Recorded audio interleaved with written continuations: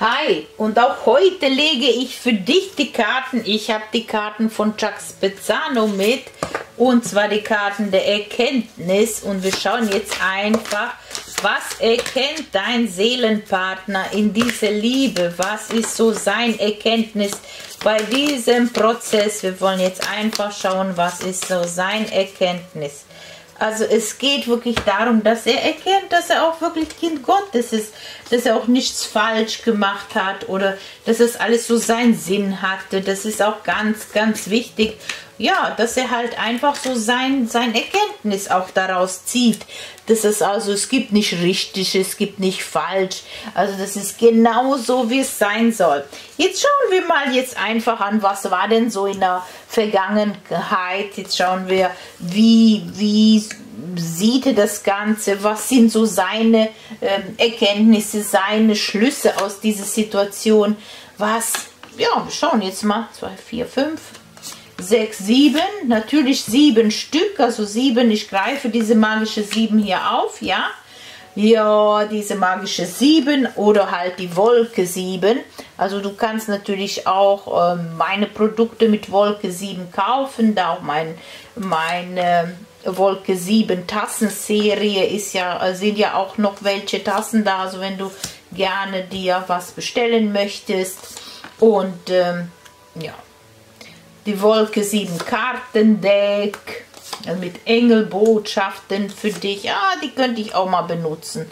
Die hole ich jetzt auch mal gleich, ja. So, wir schauen jetzt mal so von deinem Seelenpartner. Die Karten sind ja lediglich schon gemischt.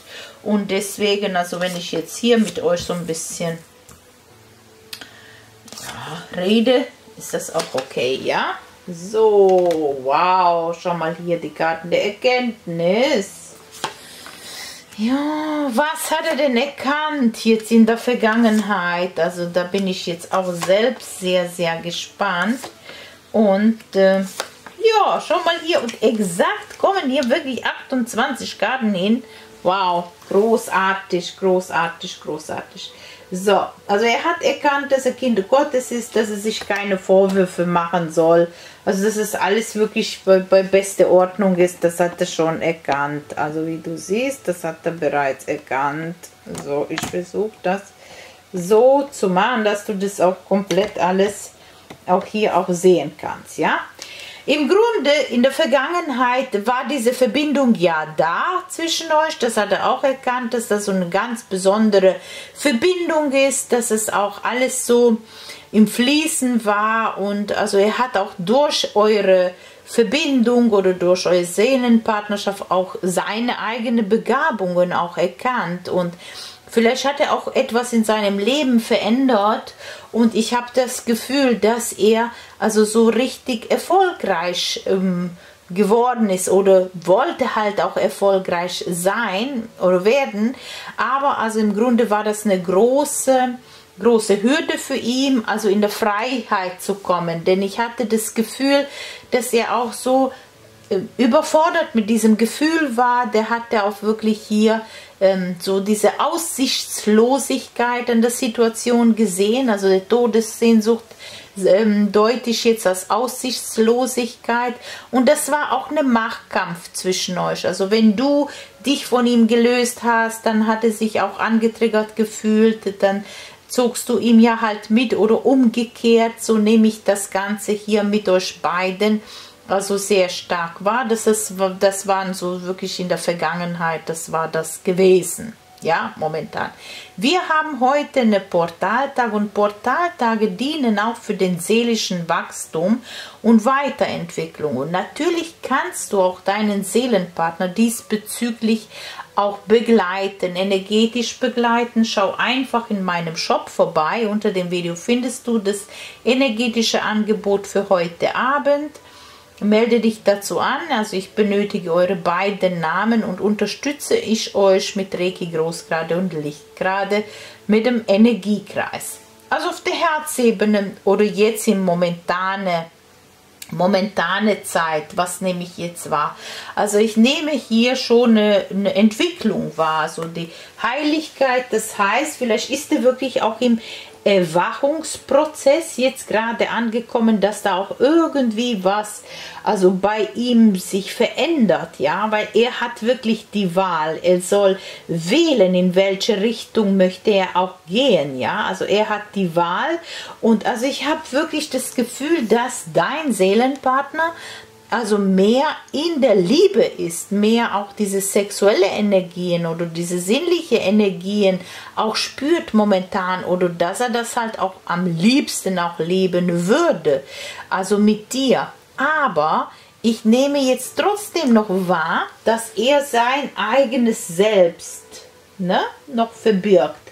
Also er versteckt sich und er fühlt sich noch in dieser Situation oder in diesem Prozess noch nach wie vor wie ein Opfer. Und da muss er wirklich in dieses Gefühl gehen, dass er komplett frei ist und dass er einfach Frieden schließt mit diesen dunklen Geschichten, vielleicht auch was in seinem Leben mal war, vielleicht auch mal Trennungen da waren oder irgendwie in seiner Kindheit oder Schwierigkeiten oder Themen also was ihn prägen konnte, dass er einfach auch Frieden schließt. Das wäre wirklich hier dieses Bewusstwerdungsprozess, denn er hat ja wirklich die Wahl. Was wählt er denn? Äh, er sich weiterhin selbst? Ist er weiterhin das Opfer und, und lässt immer diese dunkle Geschichten aus dem Unterbewusstsein oder sagt, okay, ich lebe die Liebe, ich habe die Wahl, ich mache Frieden mit der Vergangenheit, da ist jetzt in diesem Prozess, gerade an dem heutigen Portaltag. So, und wie geht es weiter? Wie geht es weiter? Also das ist jetzt die Zukunft, die Tendenz jetzt. Ja, also ich sehe hier, das andere Leben kommt aus dem Unterbewusstsein hoch.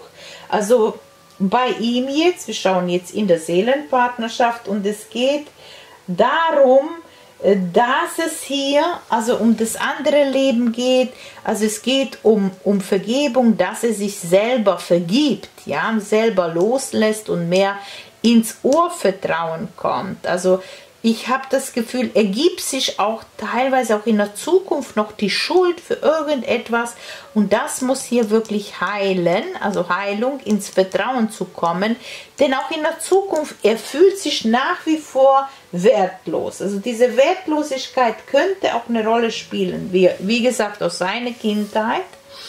Und also er wird immer wieder in den Schattenthemen, also von der Unterbewusste hineinge ähm, führt, also dass er das anschaut, ja, diese Schattenthemen und darüber muss er wirklich kommunizieren, damit das auch heilen kann. Natürlich das auch aussprechen und ähm, wenn du jetzt auch zu viel Erwartung an ihm setzt oder zu ähm, ja, fordern davor gehst oder nicht verständnisvoll, dann bekommt er auch wieder Angst, ja, weil das erinnert sich ihm wieder an seine Wertlosigkeit aus seinem Unterbewusstsein und wie gesagt, also wenn du da auch Unterstützung auch in deine Kommunikation benötigst oder wirklich eine Coaching oder eine Begleitung, denn ich begleite dich auch in diesem Prozess ja auch wirklich acht Wochen lang, dann melde dich dazu an.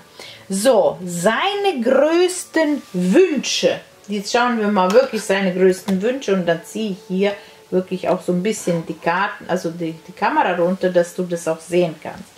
Sein größter Wunsch wäre, die Wahrheit zu sprechen, in ein höheres Bewusstsein zu kommen und deinen Erwartungen auch wirklich zu entsprechen. Da ist er noch zu sehr in der Opferhaltung, denn er hat hier noch zu sehr diese Kontrolle. Also er möchte er möchte dir gefallen. Er möchte gut sein. Er möchte gesehen werden. Und das deutet immer noch nach wie vor an diese Wertlosigkeit hin. Und also wichtig ist, also sein innigster Wunsch wäre, eine Vision zu haben, die Führung zu übernehmen und in der Unabhängigkeit zu gehen, also in deine Richtung. Also es geht wirklich darum, das ist so sein Erkenntnis, sein Erkenntnis, dass er Kind Gottes ist, dass es alles gut ist, wie es ist. Also er arbeitet an sich selbst, unterstützt ihm dabei. Ich freue mich auf dich. Ich sage danke, bis bald.